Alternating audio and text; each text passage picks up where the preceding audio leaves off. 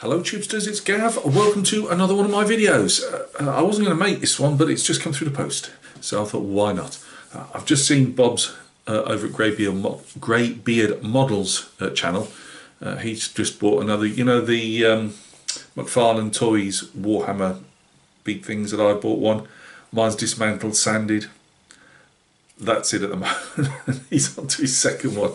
Uh, I've not love run out of love for it. It's just I want I've taken on this commission. I don't do as many commissions as I used to, and I, I don't want to get distracted. Uh, I'm still building the Lexington, and I've got some other figures uh, that I want to be working on as well. So, uh, uh and also I want to gear up to building a one in 35 scale, uh, another one in 35 scale vehicle.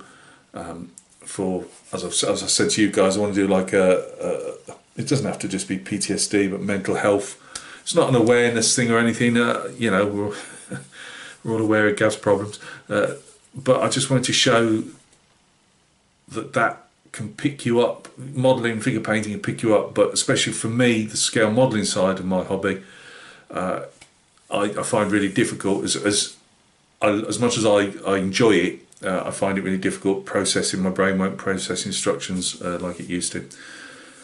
Uh, but anyway, well, this is modelling related to, to it's, it's a bit of both actually. So, um, what, what's Gav bought? Well, let's just. Uh, I'll have to put these on. Sorry about the reflections. It, will hopefully distract from the face. Uh, I've got myself a 54 millimeter uh, construction kit, as it says here, and it's an Airfix, yes, Airfix Polish Lancer from their collection series, I believe it's called. From the collection series. Collect, well, yeah. large letters, collection series. On the back, you can see it's ancient.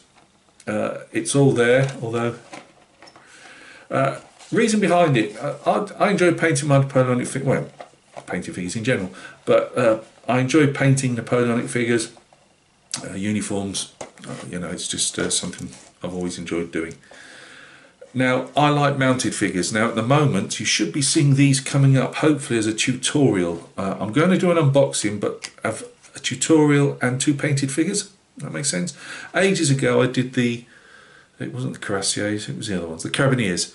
And I did two painted figures and then did an unboxing so people could see. And that's quite popular. And I thought, I'll do the same again, but people have still said, well, Gav, I wouldn't mind seeing how you do your horses and your figures. So these are going to be uh, again, the Perry's 28 millimeters, and they're going to be the French 8th Hussars. Uh, going to be hopefully painted as a uh, uh, as a tutorial. But I'm saying that because I really enjoy mounted the mounted figures particularly, um, and I find them. I say I find them out my price range. Yeah, hang on, Morecambe and Wise going on there. Uh, I find busted nose, you see. Uh, it, Ooh. Bit of scratching there. We've got a got some music going on. I'm not sure if you call it music, but uh, diverging gav.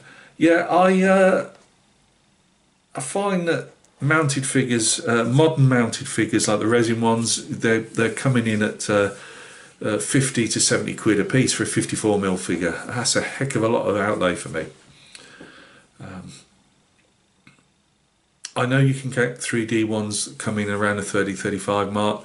I'm not still not convinced until they finally get all the striations out of the way and uh, you know yeah uh, so I was thinking that's a shame now. I've always you know I'd like to do some mounted Napoleonic figures uh, and I just can't afford them and uh, I just the, the you know the, the the Airfix happened to pop up on a on a search for some other figures. And I thought well you know what? They're old um, but maybe I could do something with it. You can still pick up these. Uh, if you're a collector out there, I'm not really fussed if it's sacrilege or not. I, I prefer to see, if collecting plastic is your thing, go for it. Uh, I like painting it. So uh, it's going to be built. Uh, I've never built one before. Uh, we're going to have a look in a second. Uh, I've seen, oh, is it a bit soft, some of the details? I've seen painted versions because uh, obviously I've gone looking and we all know they do a whole host of them. Uh, Historex Agents do some as well. I remember buying Historex Agents uh, plastic kit of a Highlander. I ordered it with a postal order. That's how long ago it was. Uh, back in the mid 80s. Uh, I was about 17, 18. Came, I looked at it, thought, what was I thinking of? How could I ever paint a kilt? or put one together that didn't look like a glue bomb. So uh, I wish I, I don't know whatever happened to that figure because I do it now because they're going for about 18 quid to 20 quid. Uh, agents still do all those, uh, but they do a load of mounted figures, which I, I suppose I should have realised, and they, they pitch in at around the £20 mark. Um, so I might well get one of them as well at some stage, but I thought let's not go berserk as we say over here. Uh, so buying happy, just like uh, like Bob from Greybeard Models or Sean from the Scale Model Car Guy channel. Um, there were a couple of poses I wasn't particularly interested in. I would imagine there are certain poses that go for more money. I wanted a, a runny, energetic, chargy. Are they actually words? But you know what I mean. Bounding along. Does a horse bound along? That's that's one of my pops. Anyway, you know, charging anyway, uh, rather than just standing there. I don't mind if they're if they're munching the grass, the horse, and the, the you know they've got the neck down and the in a reclining position with the rider. They're good as well, but I don't just like the like like our horse guards out, outside to a horse guards parade. I believe horse guards parade, whatever. So uh, let's go down and see what uh, Airfix were producing. Um, it doesn't say any dates on this, so all you collectors out there will know uh, when they were brought out and all the rest of it. I remember them as kids, uh, and I was always intimidated by them, and and they were a bit out of my price range at the time. Uh, so obviously I never bought one. So let's go down. I've no idea that it's supposed to be all there. Let's hope it is because I really don't think I'm going to be able to model somebody's head or the horse's head or a leg missing. We're in trouble if that's the case. It's supposed to be all there. Right, we'll have to go on drone view at the moment. Um, I should have actually put the bigger tripod up. I'm just being lazy. So that's our box.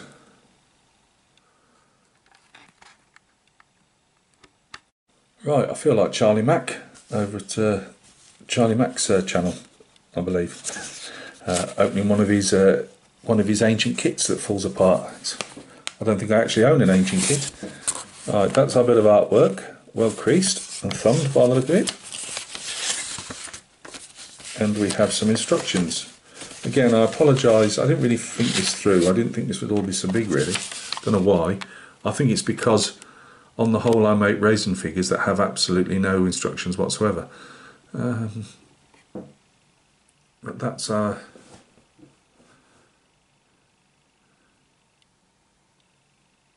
I would imagine that we're going to, what do you reckon? Do you reckon we have to make a lot of the reins and the tack up ourselves? Tack is horsey language for the leather work on the horse. How about that? You learn something new, don't you?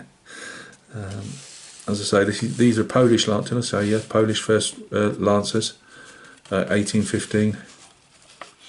I have seen people convert these into Dutch red lancers as well. Obviously that fought with Napoleon. And that's what you're supposed to get at the end. Um, I don't know if, it depending on how it looks, is how it will get based. I'll probably put it on a wooden plinth with some type of, some type of base, you know, foliagey type base to it rather than just on a they do some. I, I was looking at the English Civil War.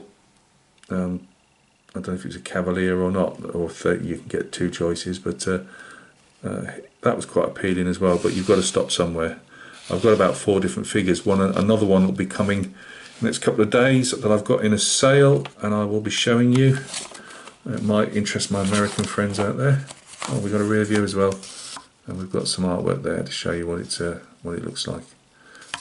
Uh, Nice.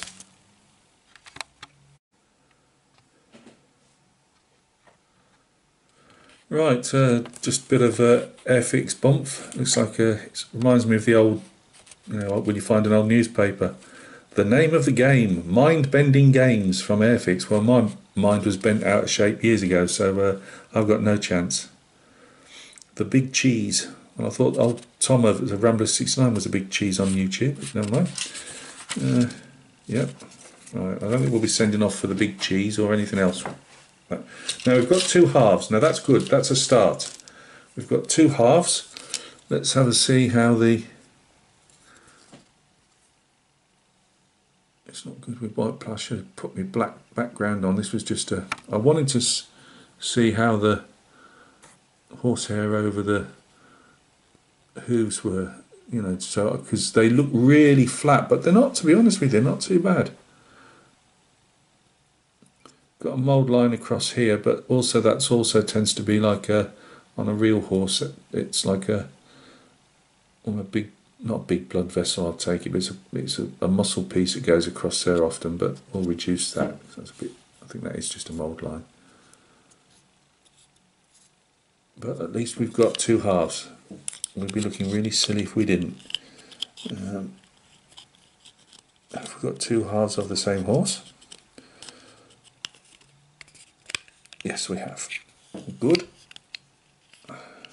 I'm anticipating filling and stuff, so obviously we haven't got all our rough bits off, so it could be flatter than that yet. We will use Paul over at uh, Plastic Monkeys uh, how to get how to reduce your gaps without filling them. Oh, we've got a nice. Oh, that's nice. Nice pin mark there to uh, rub out. Yeah, I don't think we could disguise that somehow, so let's make sure that's removed. We should have one on the other side, I take it. No? How does that work out? I have no idea. Right, but we've got our horse. Uh, do we have a horse's head though?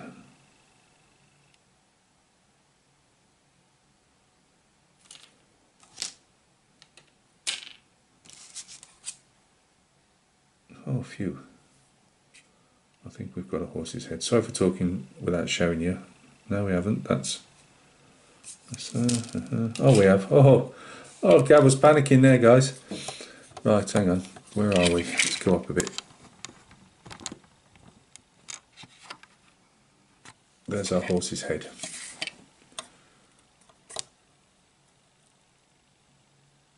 Our legs. Looks like he's got the overalls on. I mean, you tend to find on war game figures and and some some display figures to that for that matter.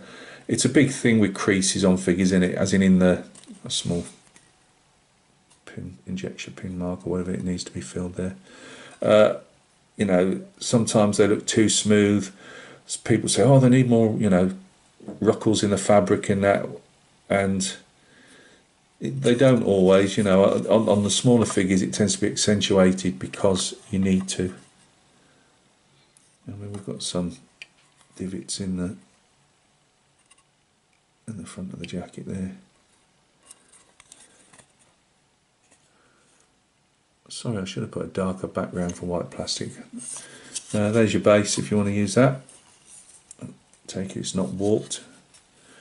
Uh, how much did I pay for this? Uh, I got this on an only bid. Um, I believe I paid around a tenner for it, but that was I also had to pay a couple of three quid uh, postage. I've seen these. I've seen people asking for the. Diff- uh, as I say, I'm not a collector because there are people that will just collect the, the blooming on the. You know, they'll, they'll never get to see the light of day as a as a built figure.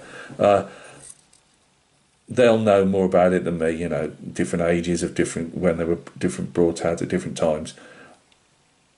I've been seeing some people asking for these figures, and I'm talking in general that all the Napo- they do about it, half a dozen Napoleonic figures, and then a couple of others. They do the the, the well-known Bengal Lancer, that seems to be hard to get, and they do uh, um, some a couple of Revolutionary War. They do George Washington. Uh, and they do obviously a fair few. Foot, they do French Foreign Legion foot, foot figure, which I wouldn't mind getting. Um, but as I say, if you fancy this type of stuff, you don't want to do an Airfix one, go over to Historex Agents here in the UK, and they do a whole host. Uh, they're, they're getting on in years now. These the the, the Historex like the Airfix, but they're still they're still in production, and they do literally mind blowing amount of Napoleonic figures. If you uh, different mounted ones, different foot figures. Uh, here's our lance, uh, one and truly a bendy. Might have to somehow uh, make a uh, wire one. And I can see me doing that. And I don't think that's going to survive first contact with taking it off the sprue. Might do, but it depends how bendy it looks. It doesn't look too bad actually. We'll see how that goes, it might work. Um, what else we got? Shabraque, is it? Uh, the saddle blanket. How many times I tell you guys that? That's weird. Or does that just attach onto the side? You don't seem to have stirrups on the side there. Hmm. I'm not sure. I'm trying to look. Sorry, I've not seen any of these type of things before, so I'm not. Uh, I'm not 100. percent We've got our stirrups here. I'll have to look into that. Uh, covered carbine, bit of flash on, not a lot. Uh, it's it's obviously they used to cover the me uh, firing mechanism up. A bit soft, but you could either give that a skimmer putty or, or, or just paint details in. Uh, face. Obviously, we have to put our two halves of the the head together. And somewhere on here that's missing me at the moment, there'll be a face. Hopefully, there'll be a face. Oh, there we go. There's our tiny little face on the other sprue. Again, uh, not as, as I was saying with a couple of the Perry uh, heads, you know, they're, they're a bit blank, if that make, if that's right. And I don't mean all the Perry ones for all the Perry lovers start jumping on me head.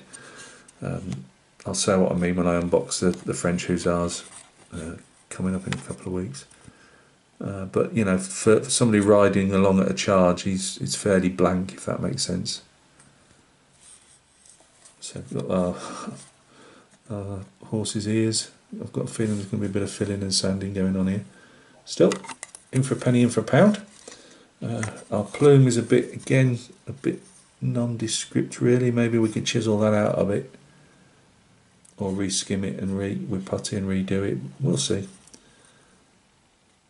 We've got our flounders here uh, to go on the shako. Not too bad. Bit of flash on the ends, which you'd expect. These are old kits as well. Uh, and that's about it really. Uh, what else we got? Oh, we've got, let's see our bits of horse furniture. Got more braiding to go on the uh, epaulets. Cartridge box embossed with the eagle. Fringe on the epaulets, that's acceptable. Uh, horse bit, I believe it's called. It's okay. the little fella's here. There's our sabre.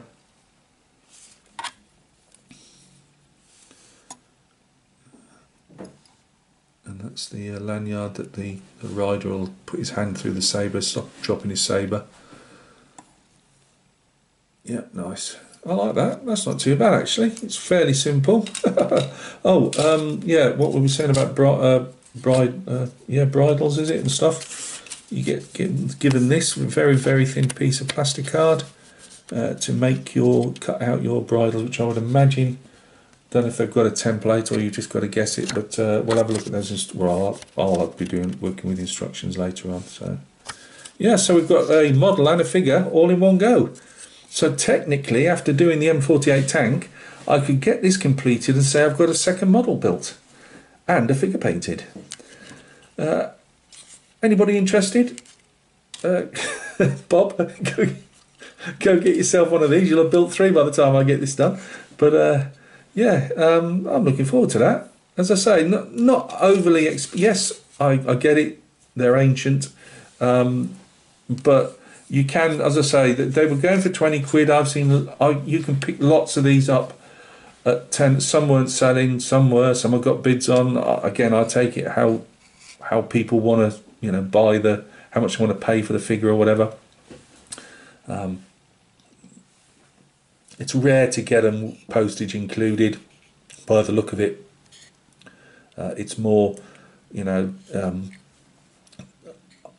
personally myself, I I wouldn't want to pay more than 12, 12, 13 quid and then have to add three quid on postage. I wouldn't want to pay more than that and damn sight less if I could get away with it. We all like a bargain. Um, but I'd definitely look at, once I've done this one, I'd definitely look at maybe getting a Historex Agents one, which will be a bit more expensive, coming in at around the 20 odd pound mark plus postage.